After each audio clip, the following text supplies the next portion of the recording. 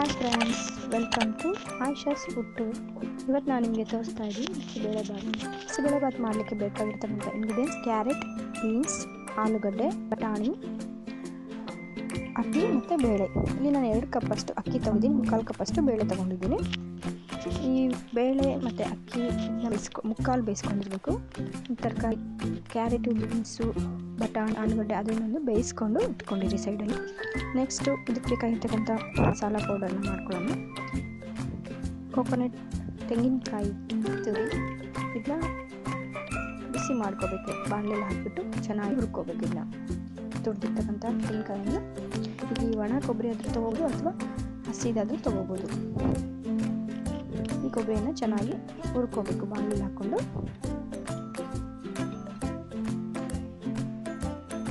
ನಾನು ಚಿಕ್ಕ ಕಾಯಿ ತೊಗೊಂಡಿದ್ದೀನಿ ಫುಲ್ ದೊಡ್ಡ ತೆಂಗಿನ ಅರ್ಧ ತೊಗೊಂಡ್ರೆ ಸಾಕು.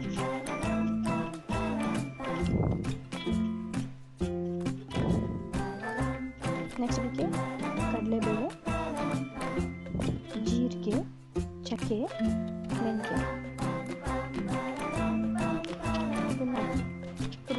ಬಾಣಲೆ, ಬಾಣಲೆಯಲ್ಲಿ ಹುರ್ಬೇಕು ಚೆನ್ನಾಗಿ.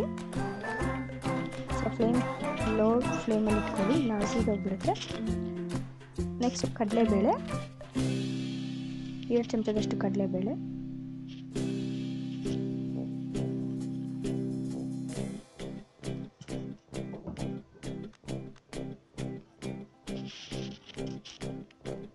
ಎರಡು ಚಮಚದಷ್ಟು ಉದಿಬೇಳೆ ಹಾಕ್ಕೊಂಡು ಚೆನ್ನಾಗಿ ಹುರ್ಕೊಳ್ಳಿ. ಇದಕ್ಕೆ ಎಣ್ಣೆ ಏನು ಹಾಕೋದು ಹಾಗೆಯೇ ಹುರ್ಕೋಬೇಕು. ಚೆನ್ನಾಗಿ ಹುರ್ಕೊಳ್ಳಿ. ನೆಕ್ಸ್ಟ್ ಒಣ ಮೆಣಸಿನ್ಕಾಯಿ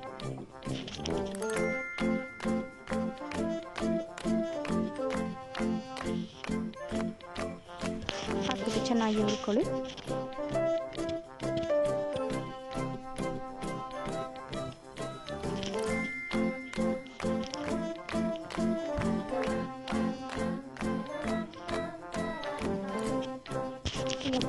ಎತ್ಕೊಂಡಿರ್ತಕ್ಕಂಥ ಐಟಮ್ಸ್ನೆಲ್ಲ ಒಂದು ಮಿಕ್ಸಿ ಜಾರ್ಗೆ ಹಾಕ್ಕೊಳ್ಳೋಣ ತೆಂಗಿನಕಾಯಿ, ಒಣಮೆಣಸಿನಕಾಯಿ, ಜೀರಿಗೆ, ಚಕ್ಕೆ, ಲವಂಗ ಏಲಕ್ಕಿ ಮೆಂತ್ಯ, ಕಡಲೆಬೇಳೆ, ಉದ್ದಿನಬೇಳೆ ಇದನ್ನೆಲ್ಲ ಜಾರಿಗೆ ಹಾಕ್ಕೊಂಡು ಗ್ರೈಂಡ್ ಮಾಡ್ತೀನಿ ಮತ್ತು ಧನಿಯಾ ಪೌಡರ್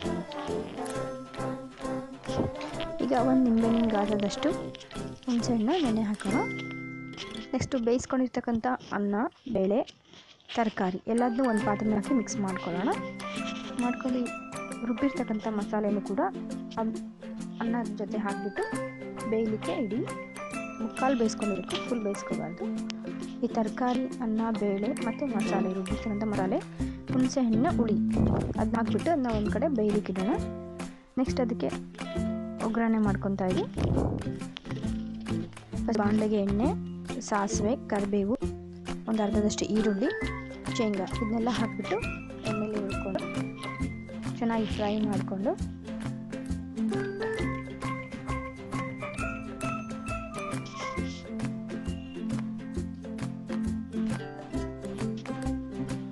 ಶೇಂಗಾ ಎಲ್ಲ ಚೆನ್ನಾಗಿ ಹುರಿದ್ಮೇಲೆ ಬಿಸಿಬೇಳೆ ಬಾತ್ ಪೌಡರ್ ಎರಡು ಚಮಚ ಹಾಕೊಳ್ತಾ ಇದ್ದೀನಿ.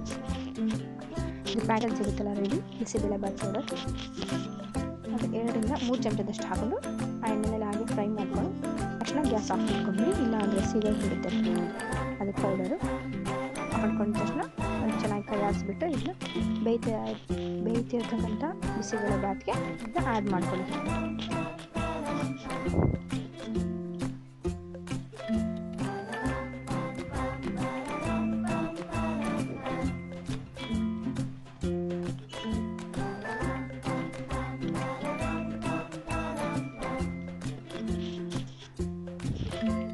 ಚೆನ್ನಾಗಿ ಕೈ ಆಡಿಸ್ಕೊಳ್ಳಿ. ಒಂದು ಹತ್ತು ನಿಮಿಷ ಆಯ್ತು ಬೇಯಿಸ್ಕೊಂಡು ಎಲ್ಲ ಚೆನ್ನಾಗಿ ಬೆಂದಮೇಲೆ, ಎಲ್ಲ ಚೆನ್ನಾಗಿ ಹೊಂದ್ಕೊಂಡ್ಮೇಲೆ ನಿಮಗೆ ಬೇಕಾದಷ್ಟು ನೀರು ಹಾಕೋಬೇಕು ಇಲ್ಲಿ ನಾನು ಎರಡು ಗ್ಲಾಸ್ ನೀರು ಹಾಕಿದ್ದೀನಿ ಇಲ್ಲಿ ಬಿಸಿಬೇಳೆ ಬಾತ್ ಈಗ ನಮ್ಮ ಬಿಸಿಬೇಳೆ ಬಾತ್ ರೆಡಿ ಆಗಿದೆ. ಇದನ್ನು ಒಂದು ಸರ್ವಿಂಗ್ ಪ್ಲೇಟ್ಗೆ ಹಾಕ್ಕೊಳ್ಳೋಣ. ಇದರ ಮೇಲೆ ಬೇಕಂದರೆ ಖಾರ ಬುಂದಿ ಹಾಕೊಳ್ಳೋಣ.